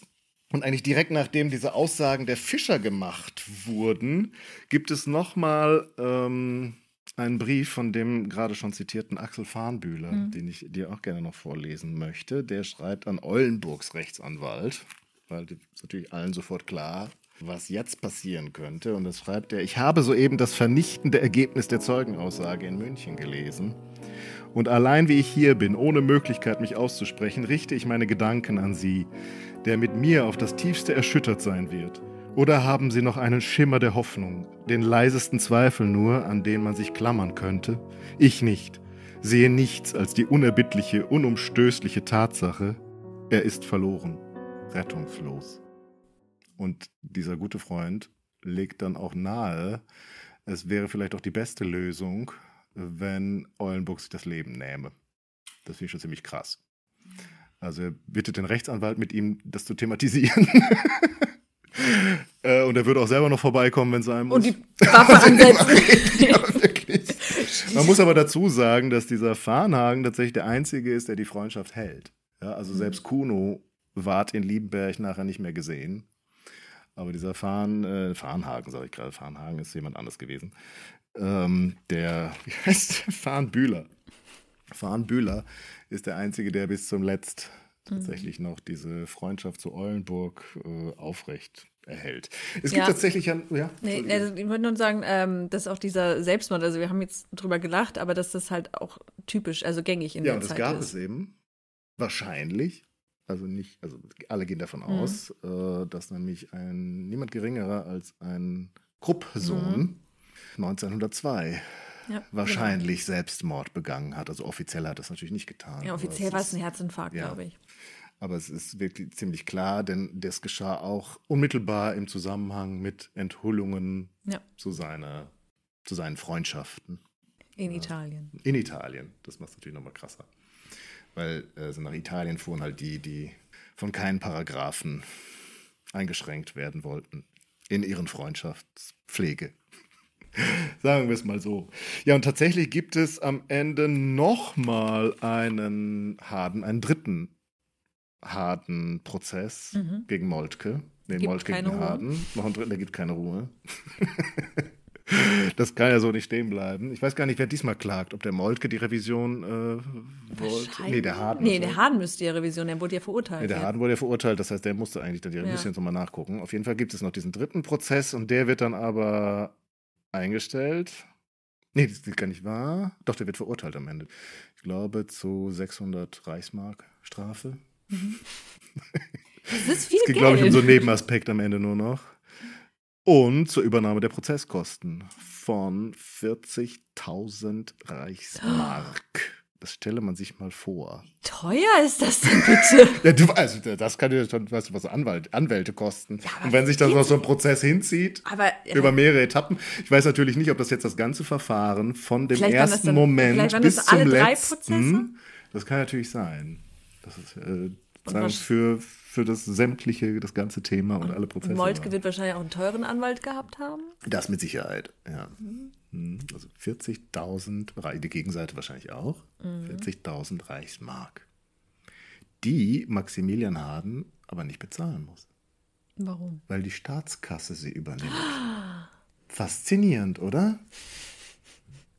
Also hallo, die versuchen die ganze Zeit, dass irgendwie, dass das aufhört und dass der verurteilt wird und jetzt bezahlen sie seine Prozesskosten.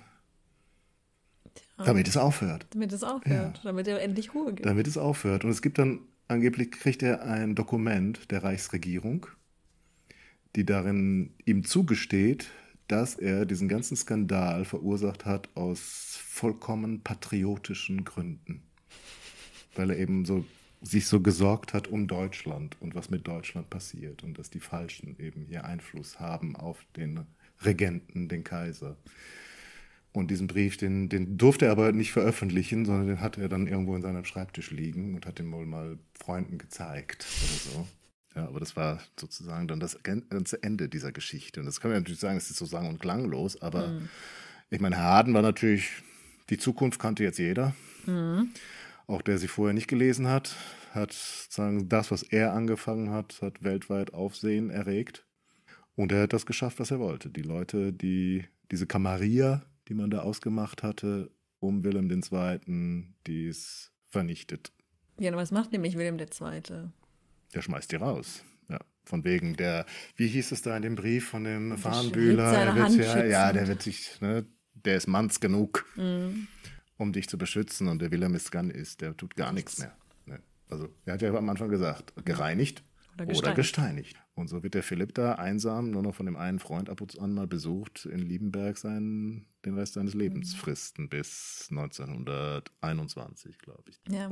Ähm, aber meine Frage an dich, hm. Wie schätzt du das Verhältnis oder was, wie schätzt du die Beziehung zwischen Eulenburg und Wilhelm II. ein? Ich glaube, dass Wilhelm II. gerne Spaß hatte und dass dem das, äh, so wie bei Eulenburg auch, also wir stellen uns das jetzt vielleicht so vor wie bei, bei Kuno und Lilly, dass die Frau quasi mit der Bratpfanne den Beischlaf erzwingen möchte und der Mann auf sich auf keinen Fall äh, sich das zutraut. Also Kuno wäre wahrscheinlich das, was wir uns heute unter einem schwulen Mann mhm. vorstellen. Ähm, bei den anderen ist es einfach ambivalenter. Mhm. Also der Eulenburg, du weißt, wie viele, wie viele Acht Kinder, Stück. acht Kinder hatte der. Also ganz so schlimm muss es mit seiner Frau, kann es nicht gewesen sein. Der Wilhelm hatte auch sieben Kinder, zu denen man ihn wahrscheinlich nicht zwingen musste. Und der hatte ja auch noch Liebesaffären ja. als Kronprinz, die bekannt sind mit der Miss Love unter anderem und wahrscheinlich noch uneheliche Kinder. Also da ist jetzt, äh, wir haben jetzt, er ist nicht homosexuell in dieser Kategorie, die man so aufstellt. Aber mhm. sozusagen war sie wahrscheinlich offen. Mhm. Beide waren sicher offen dafür. Und sie haben sicher das so aus dem 19. Jahrhundert heraus, diese idealisierte Freundschaft, mhm. das noch so verstanden, so wie sie du am Anfang beschrieben hast, mhm. dass sich mhm. das im Adel länger hält als im Bürgertum. Also, dass sie sozusagen in einer anderen Epoche noch verhaftet sind. Mhm. Äh, und der Eulenburg war ja auch ein paar Jahre älter als der Wilhelm. Genau. Also da kommt ja noch was ins Spiel, ne, dass der Wilhelm ja sehr nach Zuspruch gesucht mhm. hat, die er als Kind nicht mhm. bekommen hat von der Mama. Da reden wir dann noch mal ein andermal ausführlich drüber. Auf jeden Fall, ähm, deswegen haben die auch so ein bisschen leichtes Spiel gehabt, wahrscheinlich alle. Ja. Also sobald man dem Kaiser Honig ums Maul schmierte, mhm. dann war man oben auf, weil der einfach Liebe gesucht hat. Egal von wem. Ja. Ja, da spielt es sicher eine Rolle, dass der Eulenburg noch zwölf Jahre älter mhm. war und gut, als väterlicher Freund wäre jetzt ein bisschen krass, aber so als älterer Bruder ja, aber würde der dann schon durchgehen. Ich habe auch ne? mal so überlegt, ob das nicht ja. auch so ein, in Anführungszeichen, so ein Vaterersatz war. Der Eulenburg, der ja auch gebildet war, der kultiviert war und jetzt eben dadurch auch Faszination ausübt. Also ob die vielleicht auch, also es war ja dann auch immer so diese Debatte, gerade mit diesem Starnberger See, was wir angesprochen hatten, dass eben am Stand, also Eulenburg auch von Wilhelm II. Besuch am Starnberger See erhalten hat. Mhm. Und gerade auch mit dieser Geschichte, dass er da mit den Fischern unterwegs war, diese große Debatte kam ja, da hat er dann mit mhm. Wilhelm II. auch. Es gab dann auch so diese, diese, in der Presse, diese, der Gedanke, dass sozusagen die gleiche Hand, die in den Händen des Kaisers lag, auch die Genitalien dieser Fischer berührt hat. Das spielte auch nochmal eine große Rolle. Ja. Und es wurde dann eben auch überlegt, ob dann vielleicht auch der Kaiser am Starnberger See hm. berührt hat Selbst oder berührt, berührt wurde. Ja. Und da ist dann immer so die Frage, muss sie gar nicht mal gewesen sein. Also vielleicht waren die auch wirklich nur befreundet. Ja, also ich glaube, ich glaube, dass wenn die von Liebe sprechen, durchaus Liebe meinen. Aber dass das nicht unbedingt heißt, dass sie auch körperlich genau, intim waren. Genau, das meine ich. Also, ja. dass da nicht unbedingt eine sexuelle Intimität Also das werden wir nicht herausfinden. Das werden wir niemals herausfinden. Aber ich glaube, das muss man, also finde ich irgendwie, dass man nochmals anspricht, nur eben diesen Unterschied zwischen, den die auch machen, dass eben nicht Liebe automatisch Sexualität bedeutet, sondern eben für die auch einfach, ich habe den lieb. Mhm. Und dass da eben auch einfach so eine eher sehr enge Freundschaft bestanden haben könnte, ohne sexuelle mhm. Handlung. Ja, wobei jetzt hier bei den Briefen, bei dem Moltke. Ja, gut, beim Moltke da kann man sich, was Da ist, glaube ich, alles klar. Da ist alles klar. Und ich denke auch, dass die anderen durchaus körperliche Nähe genossen haben. Mhm. Ähm, es gibt, gab auch diese Idee, dass dieser Eulenburg-Meineid-Prozess nicht abgeschlossen wurde, weil Eulenburg womöglich da noch Korrespondenz ja irgendwo zwischen ihm und dem Liebchen ja, im ja, Schrank hatte. Genau, er soll ja irgendwie ein oder 8000 Seiten ja, der, es gibt ja, gibt ja so eine dreibändige, glaube ich, dreibändige ja. politische Korrespondenz die, heute noch. Die und, und, die hat er irgendwie kann. dann mit der Schreibmaschine abtimpen lassen und irgendwie in ein französisches Bankfach schließen lassen, so nach dem Motto, wenn ihr mir nochmal kommt. Ja gut, das sind dann nicht diese Briefe, die ediert sind.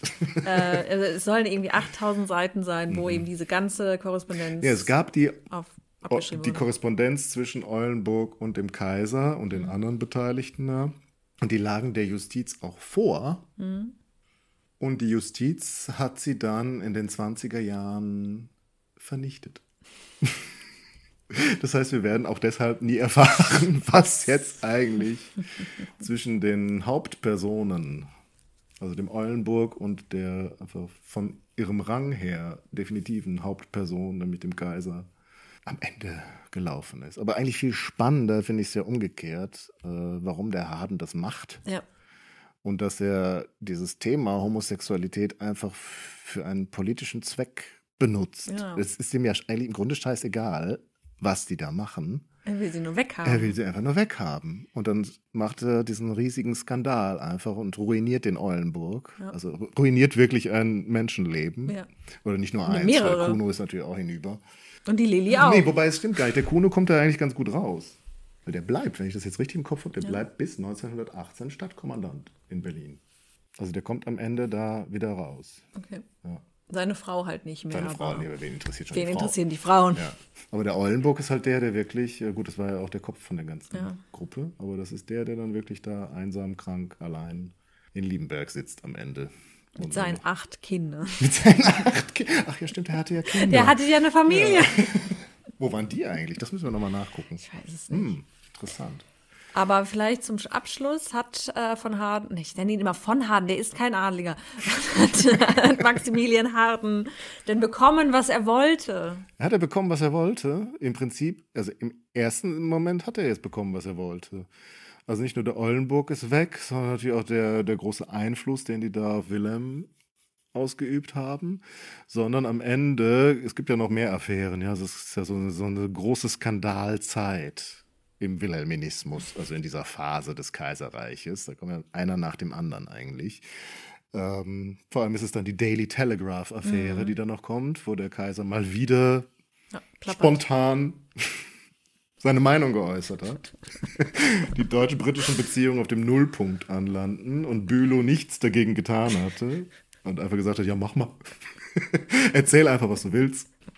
Und das bricht ihm das Genick nachher. Mhm. Also da wird er tatsächlich, also es ist klar, dass er dann weg muss.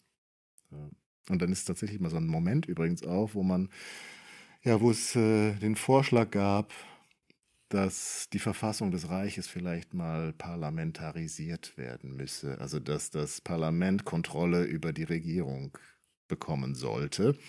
Und da waren sich aber die Parteien dann wieder nicht einig, wie das dann ausgestaltet werden sollte. Und dann äh, wurde es einem Ausschuss überantwortet und ist dann versandet. Aber auf jeden Fall, insofern hatte Harden natürlich das bekommen, was er wollte.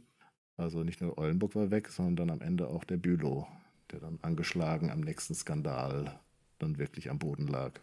Ja, hat er gekriegt, oder? Ja, ne? ja, er hat doch seinen Weltenbrand gekriegt. Er hat auch seinen Weltenbrand gekriegt. Und da hat er aber irgendwie hinter ein Problem mit gehabt. Ja, danach ne? hat er irgendwie gedacht, war eine Komisch. blöde Idee. Ja, Schade. doof. War nicht so lustig wie gedacht. Ich glaube auch nicht so, ich glaube, das stimmt auch nicht so, weil es dann ganz oft so als die Friedens- und die Kriegspartei am Hofe irgendwie gilt.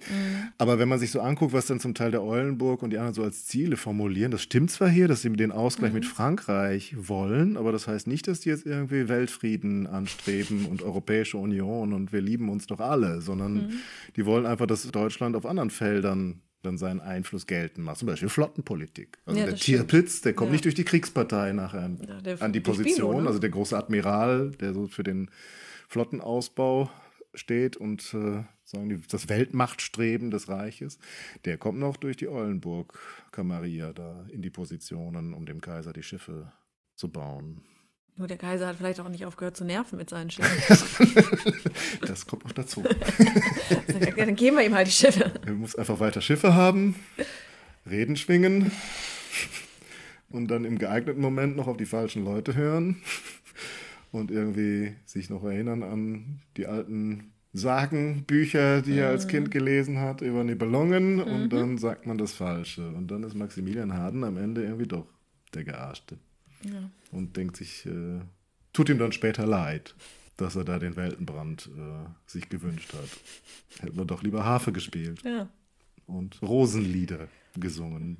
Aber was ich ja wahnsinnig amüsant finde, also in, In diesem ganzen Drama, in diesem ja, menschlichen Drama. Nein, nein, nein, als Folge dieses Dramas. Mhm. Die Nationalsozialisten haben während des Zweiten Weltkrieges einen Film gedreht zur Abdankung, also zur, Ab zur Entlassung von Bismarck. Und da wird dann auch noch mal diese Freundschaft zwischen Eulenburg und Wilhelm II. so massiv hochgehalten. Ah ja. Mhm. Aber das sicherlich auch, weil die Gegenpartei so jüdisch war. Das spielt nämlich natürlich auch eine große Rolle bei diesem ganzen Prozess, ist der Antisemitismus. Und der Mhm. Ja, zieht ja. sich wirklich durch die ganze Presse. Ja. Also es sind die, die wenigsten, die da irgendwie das nicht, bei denen das nicht eine Rolle spielt, dass Maximilian Harden aus einer jüdischen Familie kommt, dass der Gutachter Hirschfeld äh, aus einer ist. jüdischen Familie oder jüdisch ist. Mhm. Und das ist natürlich so, also ist auch so der Startpunkt, glaube ich, nochmal, wo so eine Antisemitismuswelle losgeht. Ja, es- ne? Die insofern müssen die Nazis wahrscheinlich dann Eulenburg und Wilhelm idealisieren, weil die andere Seite geht halt ideologisch nicht. Ja, aber da merkt man auch, man nimmt so, wie es passt. Man, Ja. man macht es, Mhm. wie man es braucht. So, ich glaube, wir haben heute wieder ein bisschen länger gebraucht, Ja. wobei es eigentlich ist ja unser normales Maß, Eben, also mittlerweile haben wir Ihr uns bleibt darauf einfach dabei. eingestellt. Ja, ich denke auch. Ihr kennt uns mittlerweile und das war jetzt wirklich, das ist ein Anliegen. Also das sind, äh, und wir sind noch lange nicht am Ende. Nein, es geht Nein, in die eigentlich müsste man noch viel mehr und natürlich, wir würden jetzt echt gerne viel zeigen, aber es macht ist dann doch irgendwie ein bisschen komisch, im Podcast über Karikaturen zu Ja. sprechen. Also da googelt einfach mal Ja, wie gesagt, wir verlinken die äh, auch. die Eulen, den Eulenburg-Skandal und da gibt es wirklich tausende Ja. Karikaturen, die zum Teil sehr derbe sind. Und nachdem ihr diese Folge jetzt gehört habt, könnt ihr die dann auch alle deuten. Ja, also wenn man die Geschichte jetzt eben nicht so präsent hat wie die Menschen damals über zwei Jahre hinweg, dann ist einem natürlich nicht sofort klar, was das Ganze da soll mit den Herren, die sich über Mode unterhalten, Herr Hafe zupfen oder Blumen pflücken am Starnberger See. Oder mit Handtasche. Und auch das, ja. Und natürlich müsste man eigentlich noch viel mehr darüber sprechen, äh, über Männlichkeitsvorstellungen und Zuschreibungen hier für die, über die Weiblichkeit. Aber das holen wir nochmal nach. Das machen wir. wir. Wir setzen das fort. Ja. Und über das Kaiserreich sprechen wir sowieso nochmal. Klar. Und über ein Hirschfeld wahrscheinlich auch. Ja. Insofern, Bis macht es gut für heute. Bis zum nächsten Mal. Und ihr kennt unsere E-Mail-Adresse. Ich muss sie nicht nochmal wiederholen. Ihr dürft uns auch bei Facebook schreiben oder Twitter. Und schaltet wieder ein bei Flurfunk Geschichte und macht's gut bis dahin. Bis dann. Ciao. Tschüss.